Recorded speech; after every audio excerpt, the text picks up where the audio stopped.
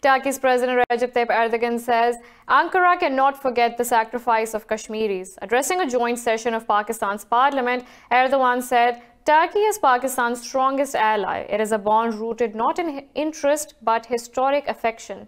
The Turkish president says Ankara appreciates and supports Pakistan's brave fight against terrorism. Erdogan said Pakistan is a victim of terrorism by all major terror groups including Al-Qaeda and ISIS. He appreciated Pakistan's positive contribution towards the peace process in Afghanistan. Erdogan said, US-Middle East deal is not a peace process but a plan for annexation, occupation and demolition of Palestine.